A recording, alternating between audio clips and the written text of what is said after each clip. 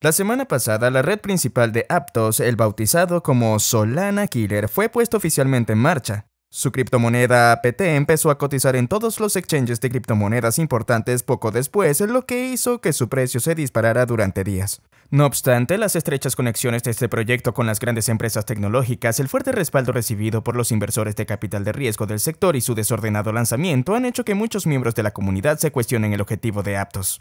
Hoy voy a contarte todo lo que necesitas saber sobre Aptos, incluyendo de dónde viene, quién lo ha creado, cómo funciona, los tokenomics de APT y si este proyecto de criptomonedas tiene algún potencial.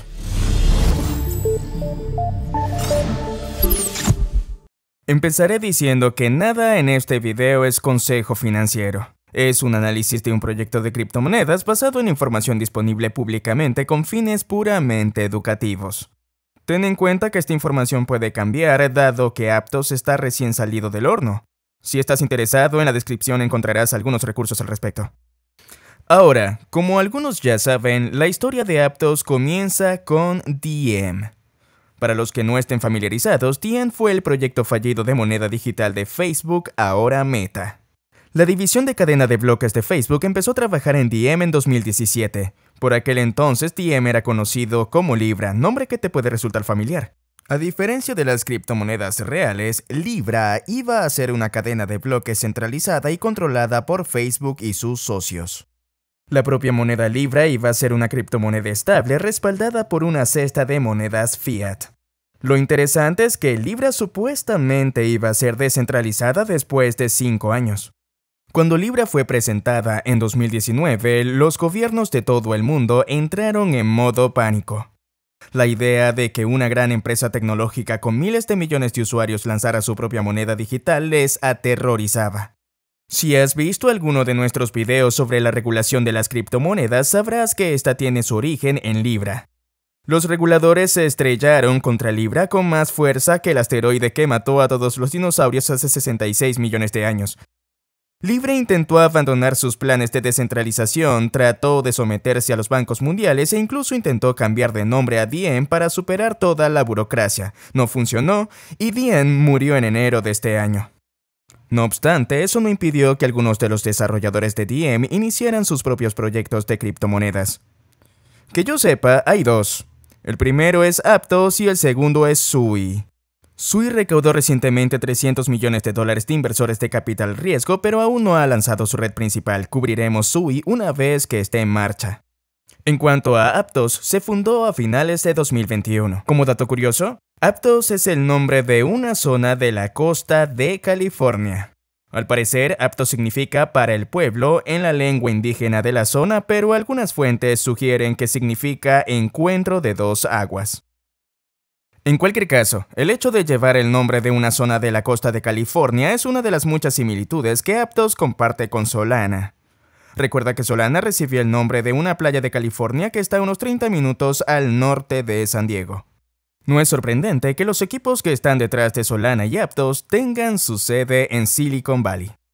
De cualquier forma, Aptos fue fundada por Mohamed Sheikh y Avery Ching, Mohamed tiene un máster en administración de empresas y su experiencia laboral previa es tan impresionante como aterradora.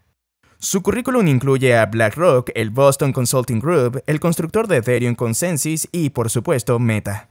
Avery tiene un doctorado en informática y ha pasado la mayor parte de su carrera trabajando como ingeniero jefe de software en Facebook, uno de los puestos más importantes. Tampoco pude evitar observar que Avery trabajó brevemente en el laboratorio de los Álamos en Nevada, una instalación famosa por sus investigaciones militares. Lo que resulta extraño es que, según dicen, Aptos tiene más de 350 desarrolladores trabajando en su cadena de bloques, pero solo Mohamed y Avery figuran como parte del equipo de Aptos Lab en la página web de la empresa.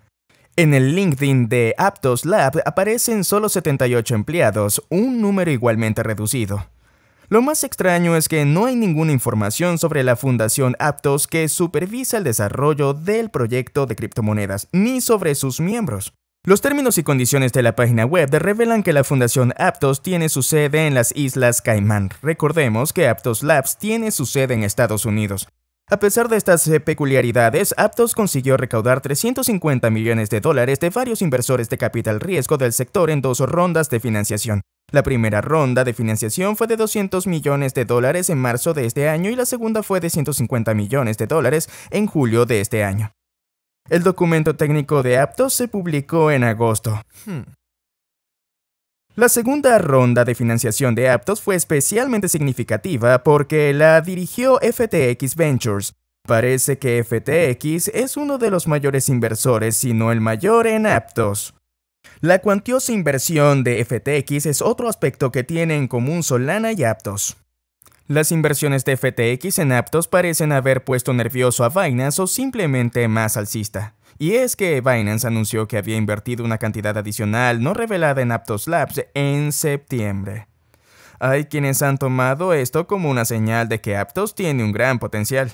Esta batalla entre los inversores de capital riesgo tiene sentido cuando te das cuenta de que Aptos utiliza una cadena de bloques de prueba de participación. Esto significa que cualquier entidad que posea la mayor cantidad de APT tiene la mayor influencia sobre la cadena de bloques. En el caso de Aptos, esta influencia de los inversores es especialmente aguda debido a la próxima puesta en marcha de la gobernanza dentro de la cadena de Aptos. Ahora bien, también es importante señalar que uno de los mayores inversores en la primera ronda de financiación de Aptos fue Three Arrows Capital, el infame fondo de cobertura de criptomonedas que quebró a principios de este año. Lo preocupante es que Aptos ha eliminado desde entonces todas las referencias a 3AC de las entradas de su blog. Puedes saber cómo se derrumbó Three Arrows Capital utilizando el enlace de la descripción y volvamos al tema. Mientras que Diem era en esencia una sitcoin centralizada, Aptos pretende ser lo que se suponía que era libre al final de su hoja de ruta original, una criptomoneda descentralizada. Dicho esto, Aptos parece tener mucho más en común con Diem que con Bitcoin o Ethereum. Tal vez sea solo yo, pero la forma en que Mohamed y Avery han hablado de Aptos en las pocas entrevistas que han hecho da la impresión de que el proyecto es una continuación encubierta de DM. Ahora bien, la misión de Aptos es unir la Web 2 y la Web 3 y para ello está trabajando con Google incómodamente cerca. Hay más pruebas en su interior. Aptos utiliza una cadena de bloques de prueba de participación delegada. Al igual que muchas criptomonedas modernas, el equipo de Aptos afirma que su cadena de bloques es simultáneamente escalable, es decir, rápida, descentralizada y segura, algo que es lógicamente imposible debido al trilema de la cadena de bloques. Recuerda que el trilema de la cadena de bloques afirma que una criptomoneda solo puede ser descentralizada y escalable, escalable y segura, o segura y descentralizada. Todos los proyectos de criptomonedas acaban sacrificando algún aspecto. En el caso de Bitcoin, sacrifica la escalabilidad por la seguridad robusta y la descentralización. En el caso de Aptos, cambia de una forma no muy sutil la descentralización por la escalabilidad y la seguridad. Aunque la cadena de bloques de Aptos presume de tener decenas de miles de nodos completos, solo tiene 102 validadores.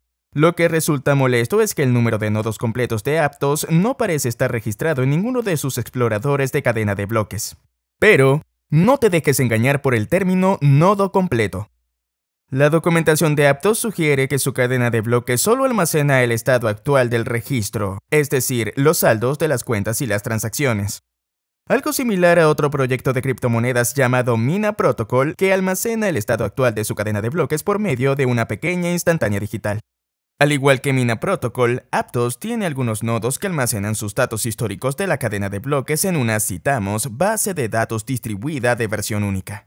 Se desconoce el número de nodos que almacena el historial completo de transacciones de Aptos. La documentación sugiere que son los 102 nodos validadores, pero no están obligados a almacenarlo. Si has visto nuestro video sobre la descentralización de las criptomonedas, sabrás que el almacenamiento del historial de transacciones a largo plazo de una criptomoneda es una parte importante de la descentralización. Sin esta información, una criptomoneda podría corromperse fácilmente con el tiempo o ser manipulada por nodos maliciosos. Por eso me dio mucha pena cuando me enteré que Solana había empezado a utilizar Google Big Table para almacenar sus datos en lugar de Arweave, que es una criptomoneda de almacenamiento descentralizado. No me sorprendería en absoluto que Aptos estuviera haciendo algo similar, especialmente porque su cadena de bloques también está creciendo rápidamente. La relativa centralización de la cadena de bloques de Aptos hace posible que procese hasta 4.200 transacciones por segundo con un máximo teórico de 160.000 transacciones por segundo. Las cifras actuales y máximas de TPS de las principales criptomonedas pueden verse por cortesía de FTX aquí. Fíjate en cómo promociona Solana. Ahora bien, lo impresionante es que las 4200 TPS actuales de Aptos también se aplican a las transacciones de contratos inteligentes más complejas. Esta es una de las razones que dio Binance para su inversión adicional en Aptos, que probablemente también estuvo motivada por la propia inversión adicional de FTX durante la segunda ronda de financiación. Otra razón por la que Binance ha invertido tanto en Aptos es por su novedoso lenguaje de programación y su nueva máquina virtual. Todo en Aptos está programado en Move, un lenguaje de programación basado en Rust que fue concebido por los desarrolladores de Diem, Aptos utiliza su propia máquina virtual Move para los contratos inteligentes. Consideremos tres aspectos importantes. El primero es que Move no es lo único que crearon los desarrolladores de Diem. En una entrevista, Mohamed explicó que Diem tenía básicamente acceso a recursos ilimitados para la investigación y el desarrollo. Como resultado, Aptos utiliza una tecnología de vanguardia de la que apenas estoy rascando la superficie. Lo que me resulta interesante es que Aptos Labs tiene una página de documentos de investigación que se parece inquietantemente a la página de la Biblioteca de Documentos de Investigación del desarrollador de Cardano, IOHK. La investigación y el desarrollo de vanguardia de Aptos podría ser la razón por la que la empresa que está detrás mantiene en secreto los detalles de sus desarrolladores. Al fin y al cabo, lo último que quiere el proyecto es perder a sus mejores talentos en favor de competidores igualmente bien capitalizados, y esto está relacionado con el segundo aspecto relevante, es muy raro que un proyecto de criptomonedas cree su propia máquina virtual para contratos inteligentes. Casi todas las máquinas virtuales son variantes de la máquina virtual de Ethereum. Lo creas o no, pero es la MoveVM de Aptos la que lo convierte en una Solana Killer, según admite la propia Solana. En una mesa redonda a principios de este año, el fundador de Solana, Anatoly Yakovenko, admitió tácitamente que el equipo de Solana está muy nervioso por la introducción de una capa de ejecución de contratos inteligentes por parte de la competencia. Anatoly también es muy consciente de lo fácil que es para los desarrolladores el lenguaje de programación Move, algo que contrasta con la experiencia de los desarrolladores en Solana que Anatoly ha comparado con, citamos, comer vidrio. Para empeorar las cosas, Solana está programada en Rust y recordarás que Move está basado en Rust. Esto facilita a los desarrolladores del ecosistema de Solana la migración al de Aptos. Lo mismo ocurre con los desarrolladores que trabajan en NIR Protocol y Polkadot. En cualquier caso, el proyecto de criptomonedas que corre más riesgo de morir a manos de Aptos es en realidad Flow. El motivo es que Flow está programado en Cadence, que está basado en Move. Si has visto nuestro video sobre Flow, sabrás que en realidad ha trabajado con los desarrolladores de Diem para crear Cadence. También sabrás que Flow utiliza una arquitectura multinodal que separa la recopilación, el ordenamiento, el procesamiento y la verificación de las transacciones en su cadena de bloques para lograr una mayor eficiencia. Resulta que Aptos hace algo parecido con su propio proceso para gestionar las transacciones que queda fuera del alcance de este video. Solo mencionaré el tercer aspecto importante y es que los tokens de la cadena de bloques de Aptos, que por alguna razón se llaman monedas, están aparentemente controlados por la entidad que los emite. Esto significa que cualquier token de la cadena de bloques de Aptos puede ser congelado, quemado y o acuñado a voluntad de quien lo haya creado. Esta parece ser una decisión de diseño intencionada, ya que Mohamed mencionó en una mesa redonda en octubre que la cadena de bloques de Aptos puede cumplir con las regulaciones al igual que Diem. Haz con esto lo que quieras. Ahora bien, en cuanto a los tokenomics, nadie sabía realmente cómo serían los tokenomics de APT hasta poco antes de que empezara a cotizar. Esta fue quizás la mayor señal de alarma para la comunidad de las criptomonedas, que se preguntaba cómo era posible que los exchanges pudieran cotizar un token que acababa de publicar sus tokenomics. APT se utiliza para pagar las comisiones de transacción en la cadena de bloques de Aptos. APT también se utiliza para el staking y para la gobernanza dentro de esta cadena de bloques. La gobernanza se limita actualmente a los validadores, pero con el tiempo se ampliará también a los delegadores. La criptomoneda APT tenía un suministro inicial de mil millones. Alrededor del 13.5% de este suministro inicial se asignó a los primeros inversores. El 16.5% se asignó a la fundación Aptos. El 19% se asignó a los principales contribuyentes, lo que presumiblemente se refiere a Aptos Labs. El 51% restante se reservó para la comunidad de Aptos. El calendario de adjudicación de estas entidades puede verse aquí. Como puedes observar, el APT asignado a los colaboradores principales y a los inversores solo empezará a ser adjudicado tras un año. Esto significa que el único APT en circulación durante el primer año procederá de la parte asignada a la comunidad de Aptos. Según el explorador de Aptos, actualmente están en circulación unos 180 millones de criptomonedas. Se trata de una cifra significativamente inferior a los 130 millones de APT que indican CoinMarketCap y CoinGecko. Por otra parte, no está claro si los otros 180 millones de APT que no están staking están en circulación. Hasta donde puedo decir, CoinMarketCap y CoinGecko obtuvieron los detalles sobre el suministro inicial de APT del artículo sobre los tokenomics de la Fundación Aptos. En él se señala que 125 millones de APT se pusieron inmediatamente a disposición de la comunidad y 5 millones de APT se pusieron inmediatamente a disposición de la fundación. De los 120 millones de APT que se asignaron a la comunidad, 20 millones se enviaron por airdrops a los primeros usuarios de la red de prueba cuando APT empezó a cotizar. ¿El resto? ¿Quién sabe? Además, APT tiene una tasa de inflación del 7% sin un suministro máximo y parece que el suministro de APT ya ha aumentado en más de 2 millones. Esto se debe a los aproximadamente 820 millones de APT a los que he aludido hace un momento. Lo que da miedo es que la Fundación Aptos señala que las recompensas de staking citamos no están sujetas a restricciones de distribución. Esto significa que los primeros inversores, el equipo y la fundación pueden vender sus recompensas de staking. He mencionado que la Fundación Aptos y Aptos Labs custodian el APT asignado a la comunidad de Aptos. Se trata de más del 51% del suministro inicial y parece que también hacen staking con este APT. Eso es mucho dinero cuando haces las cuentas. El lado positivo es que todas las comisiones de transacción se queman y la inflación de APT disminuirá un 1.5% anualmente hasta llegar al 3.25%, lo que llevará 50 años aproximadamente. Mientras tanto, el APT asignado inicialmente al equipo, a los primeros inversores, a la fundación y a la comunidad terminará de ser adjudicado a finales de 2032. El plazo al que hay que estar atentos es a finales de 2023. Es entonces cuando comenzarán los grandes acantilados de adjudicación. Lo peor de todo ocurrirá en 2024, que casualmente es el momento en que debería comenzar el próximo ciclo alcista de las criptomonedas. Puedes averiguar lo malo que podría llegar a ser el actual mercado bajista utilizando el enlace de la descripción. En cuanto al comportamiento del precio, no hay mucho que pueda decir, aún así, a primera vista, Aptos parece muy sobrevalorada. Tiene una capitalización de mercado de más de mil millones y una capitalización de mercado totalmente diluida de más de 9 mil millones. Sin embargo, si se examina con detenimiento, parece que empiezan a formarse algunos elementos fundamentales. Según el explorador de Aptos, hay más de 1.7 millones de direcciones de monederos y es probable que ese número supere los 2 millones cuando vean este video.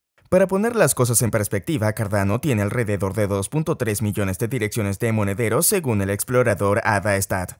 Esto significa que Aptos está en camino de superar a Cardano en número de usuarios a las dos semanas de su lanzamiento. La red principal de Cardano se puso en marcha hace más de 5 años. Hablamos de una adopción considerable. La cuestión es que el número de direcciones de monederos en Aptos no se corresponde necesariamente con el número de usuarios. Por eso prefiero fijarme en las descargas de cualquier monedero web o móvil asociado a una criptomoneda. En este caso, los monederos Petra y Martian de Aptos tienen más de un millón de descargas combinadas solo en Chrome. Sería una estadística impresionante si no fuera porque DeFi Lama sugiere que solo hay unos 17 millones de dólares de valor total bloqueado en la docena de protocolos DeFi de Aptos, lo que resulta frustrante es que las estadísticas de DeFi-Lama tampoco coinciden con las de las páginas web de las dApps de Aptos. Por ejemplo, el protocolo de staking líquido de APT Tortuga tiene casi 3 mil millones de dólares de valor total bloqueado, con más de 330 millones de APT depositados. Esto sugiere que algunos de los primeros inversores, miembros del equipo y quizás incluso la Fundación Aptos está haciendo staking líquido en secreto. Este detalle no aparece en los tokenomics de APT. Si esto es cierto, significa que probablemente no puedes confiar en el TVL de ningún protocolo DeFi de Aptos que soporte la APT en staking líquido de Tortuga. Esto se debe a que sería muy fácil para los primeros inversores, los miembros del equipo o la Fundación Aptos falsificar un TVL alto utilizando su APT en staking líquido. Algo preocupante. En este sentido, Tortuga parece ser la única vía que los titulares de APT pueden utilizar para la delegación en los validadores. Esto plantea la cuestión de a qué validadores está delegando Tortuga. También plantea la cuestión de quién gestiona los validadores más importantes, dado que están poniendo en staking cantidades casi idénticas de APT. Lo que me pregunto es cuál es el staking mínimo y máximo para los validadores. La documentación de Aptos no es clara al respecto, al igual que ocurre con el tiempo de bloqueo y desbloqueo de la criptomoneda APT. Lo que está claro es que no hay riesgo de penalización por mal comportamiento, así que al menos todos los inversores de capital riesgo no tendrán que preocuparse por perder su preciado APT.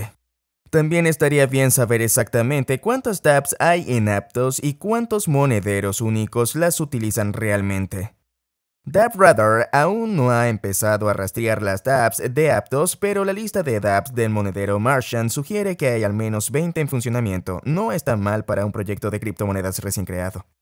Por desgracia, esto no cambia el hecho de que estamos en medio de un mercado bajista de las criptomonedas que probablemente durará al menos otro año. La dura realidad es que casi todo el comportamiento del precio de APT ha sido impulsado hasta ahora por la especulación, no por la adopción orgánica. Por suerte, Aptos tiene muchos hitos por delante. Lo más parecido a una hoja de ruta que tiene Aptos es una entrada de su blog de marzo de este año titulada, citamos, La visión de Aptos. El resumen es que Aptos quiere escalar para dar soporte a miles de millones de usuarios y a todos los casos de uso que se te ocurran, al igual que cualquier otra criptomoneda recién creada.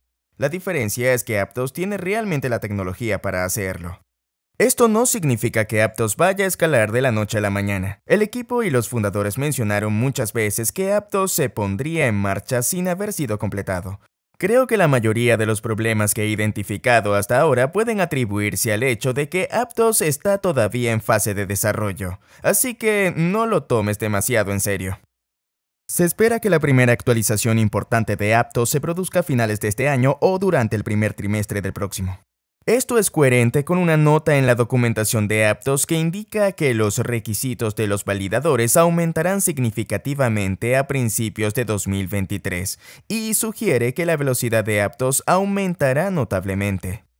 Se pueden encontrar otros hitos de Aptos en los AMAS y en las entrevistas con el equipo de Aptos y sus fundadores. Reitero que estos AMAS y entrevistas son pocos y sorprendentemente difíciles de encontrar. Estos amas los encontramos en canales de YouTube poco convencionales ya que no hay un canal oficial de Aptos. En un AMA de abril, el equipo de Aptos reveló que el proyecto está buscando asociarse con otras grandes empresas tecnológicas además de Google. Al mismo tiempo, el equipo de Aptos reveló que quiere implementar tecnologías de preservación de la privacidad en su cadena de bloques en el futuro. En mi opinión, es una cosa o la otra. En septiembre, Avery explicó que Aptos acabará teniendo un mercado de comisiones único para cada DAB y caso de uso en Aptos. Esto es muy bueno y muy lógico porque permitirá a Aptos seguir siendo resistente a los tipos de ataques de DOS que han dejado fuera de línea Solana manteniendo al mismo tiempo bajas las comisiones de transacción. En octubre, Avery explicó que Aptos tendrá una actualización importante cada 4 o 6 meses. El objetivo es garantizar que la cadena de bloques esté preparada para el futuro. Avery también explicó que Aptos empezará a fragmentar su cadena de bloques cuando empiecen a estar demasiado saturada, algo que Ethereum también está planeando. Esperaba encontrar algunos hitos más en el foro de gobernanza de Aptos, pero no había nada sobre sus propuestas de mejora. Curiosamente, de alguna manera conseguí encontrar un enlace al portal de gobernanza de Aptos para los validadores. Solo había una propuesta de gobernanza para reducir el poder de voto. Esto me lleva a las preocupaciones que tengo sobre Aptos, y a estas alturas ya sabrás que tengo unas cuantas. La mayor de las cuales es la ridícula desconexión entre la supuesta calidad del proyecto y su transparencia y organización. Es decir, Aptos lleva técnicamente en desarrollo desde 2017. Ha tenido acceso a recursos ilimitados para la investigación y el desarrollo durante años. Recaudó 350 millones de dólares sin un documento técnico ni los tokenomics. Y hay literalmente 350 personas trabajando para Aptops Labs, supuestamente. Perdona mi lenguaje, pero ¿cómo demonios Aptos no ha concretado todavía los tokenomics de la criptomoneda APT? ¿Por qué nuestro equipo de investigación ha tenido que rebuscar en cada uno de los enlaces y entradas de su blog para encontrar información que debería estar en la portada de la página web de Aptos? ¿Por qué no hay un canal de YouTube? ¿Quién gestiona los nodos validadores? ¿Cómo es que no se pueden ver los detalles de los tokens y los NFTs en la cadena de bloques de Aptos? ¿Dónde está la información sobre qué criptomoneda pertenecen a Aptos Labs y a la fundación Aptos? Es imposible que el suministro de APT se distribuya de forma tan equitativa como sugiere el explorador. Y no me hagas hablar de las acusaciones de que Aptos cerró su canal de Discord y otras redes sociales cuando la gente empezó a hacer este tipo de preguntas o de cómo todos los amas parecen estar limitados a Discord y no se publican en ningún otro sitio. Mi segunda preocupación sobre Aptos es casi tan importante como la primera y es la misión del proyecto de criptomonedas. Todavía no entiendo muy bien cuál es el objetivo de Aptos y no soy solo yo. Incluso el director general de Mesari, Ryan Silkis, se preguntaba qué nicho de criptomonedas intenta reclamar Aptos o el enfoque que intenta adoptar en la conferencia Mainnet. En realidad no obtuvo una respuesta. Por lo que sé, la visión de Aptos de las criptomonedas es una visión maximalista en la que todo se construye sobre la cadena de bloques de Aptos. No he visto ni oído ninguna discusión sobre la interoperabilidad con otras criptomonedas, solo la interoperabilidad con las grandes empresas tecnológicas y el sistema financiero actual. Esta actitud llega en un momento en el que las criptomonedas apuestan por un futuro multicadena con proyectos como Cosmos, esto se debe a que saben que no hay forma de que todo se construya en una sola cadena de bloques a menos que esté extremadamente centralizada, y en ese momento ya no se trataría de una criptomoneda. Desde mi punto de vista, la centralización extrema parece el camino que quiere tomar Aptos. Toda la charla sobre la descentralización parece ser un intento de conseguir que los inversores minoristas se suban a bordo. Para ser franco, el equipo de Aptos ni siquiera es bueno usando estos argumentos de venta y puede que sea porque no se los creen. Esto enlaza con mi tercera preocupación que es la regulación. Diem tuvo una muerte brutal y si Aptos es de hecho una continuación de Diem, está condenada a sufrir el mismo destino. Los reguladores podrán tener prejuicios, pero no son estúpidos. Hablando del tema, me sorprende que exchanges de los Estados Unidos como Coinbase coticen APT. No soy en absoluto un experto en leyes sobre valores y esto es pura especulación, pero he estado observando a la SEC durante mucho tiempo. Aptos parece marcar todas las casillas para convertirse en un objetivo de la SEC.